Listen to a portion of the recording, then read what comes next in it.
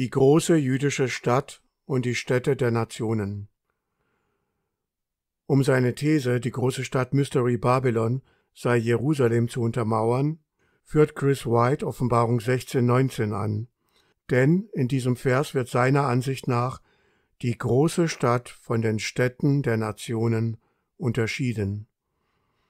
Offenbarung 16,19 in der Davar-Übersetzung. Und die große Stadt wurde zu drei Teilen, und die Stadtschaft der Nationen fiel, und die große Babylon wurde in Erinnerung gebracht im Auge des Gottes, dass man ihr gebe den Kelch des Weines des Grimmes des Zornes.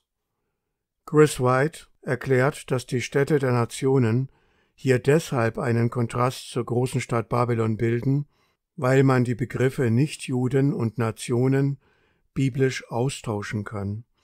In Offenbarung 16, 19 stehen also die nichtjüdischen Städte einer jüdischen Stadt inhaltlich gegenüber, die in drei Teile zerfällt.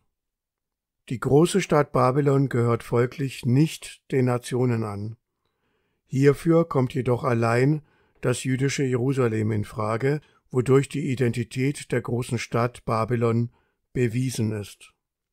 Da Babylon an den vielen Nationenwassern sitzt und über diese herrscht, darf sie auch als Stadtschaft der Nationen, das heißt als Welthauptstadt bezeichnet werden. Sie ist die Stadt der Städte.